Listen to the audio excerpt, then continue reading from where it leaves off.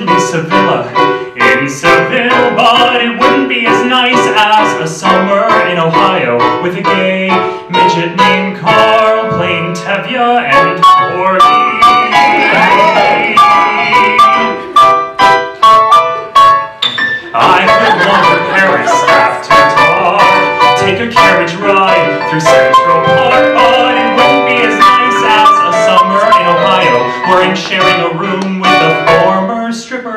snake, Wayne.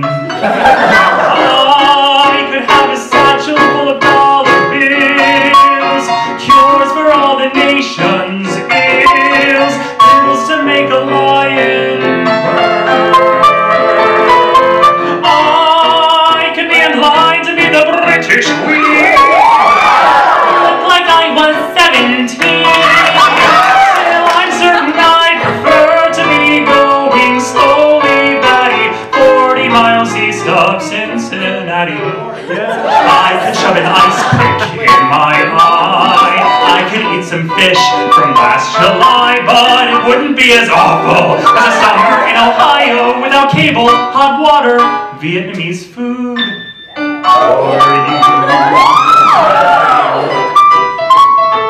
I saw your book at a Borders in Kentucky under a sign that said new and recommended.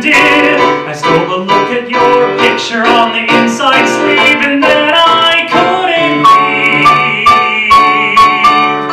Richard, who was with me, got uncharacteristically quiet and he said, all things considered, I guess you don't have to buy it. So I smile like Mona Lisa and I lay my visa down.